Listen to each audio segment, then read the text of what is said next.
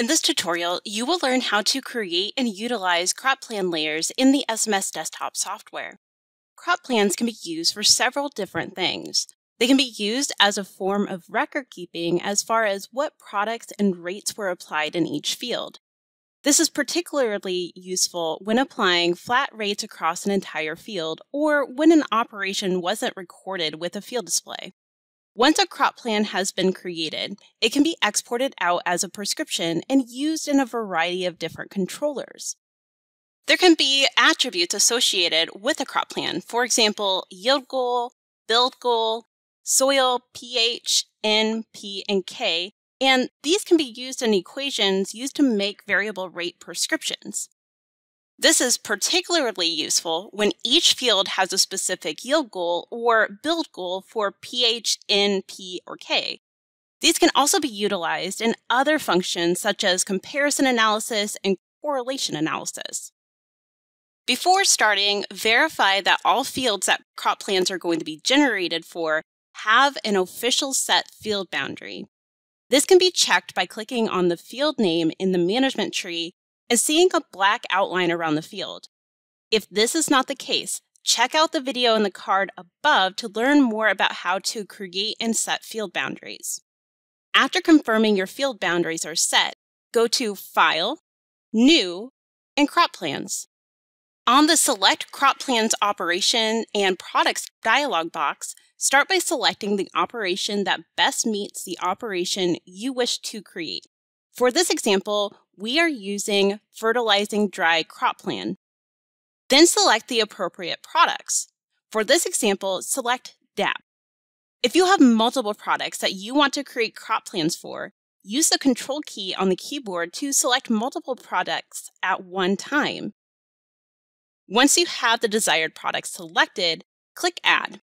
The operation of product should now appear under Selected Operations Products. If you need to add additional crop plan operations, repeat the previous three steps as necessary and then click OK. On the Define Crop Plan dialog box, verify that the correct operation and product appear in the drop-down menus at the top of the window. For this example, verify that Fertilizing Dry Crop Plan and DAP are selected. Next, select the appropriate fields from the available fields list and click Add. Multiple fields can be selected if needed. For this example, we're going to select Rower Smith and add over all the fields. Verify that the correct fields appear under the assigned fields list. Fields that were accidentally selected can be removed by highlighting and selecting the Remove button. Under Set Target Date for selected operation and product, enter the date range for when this product will be or was applied.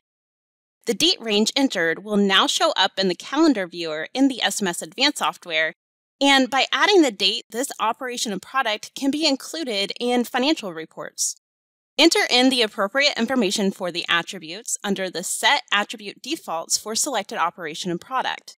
Some information that can be entered here are description, target rate, yield goal, and build goals for soil pH, N, P, and K. These attribute values can be referenced when writing equations, comparison analysis, agronomic analysis, and other analysis functions. Repeat the previous five steps for additional operations and products and click Next. Verify the appropriate year is selected on the Management Selection dialog box. For this example, we will use the year this operation occurred. Click Finish. After saving the crop plans, you will find them in the fields and year you had previously selected. If you would like to edit or add additional information to the crop plans, create a new map, right-click, and select Edit Layer. In the Edit Layer window, you can further define the layer by using the Divide tools to add different target rates, goals, and even products. When finished, save the layer and close.